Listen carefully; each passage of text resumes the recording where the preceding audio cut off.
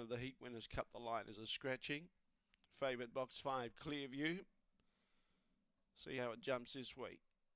Track being cleared now. Last of the handlers leaving the track. Green light goes on. We're set to go. Favourite in the yellow. Ready. Poured at the boxes. Began a lot better this week and's got the front. Boogie Value goes to the inside and follows it through. Out wide, Bruce McGlenn is starting to chase out after the favourite. Behind those was Raptor. Very wide, Emily Poiter. Well back behind those was Molly Palms. And alongside of it, highly praised, but too good, Clearview. Second, Bruce McGlenn. Third was Raptor. Fourth placing was Remember Prince. Uh, then in turn behind those, we had uh, highly praised and Boogie Value pulling up quickly with Molly Palms at the tail end of the field.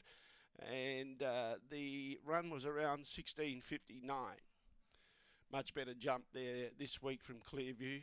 Pounced on the lead and was never looking in any danger whatsoever. Has won easily. Bruce McGlenn jumped well enough, but burned off by Clearview. It's 5, 7, 8 and 6. 5, 7, 8, 6 the judges' numbers. And the run was 16.59.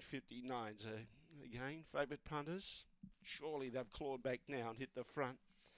And got out to about 260 back into $2.30. 5786 after race 4, 16.59 the run.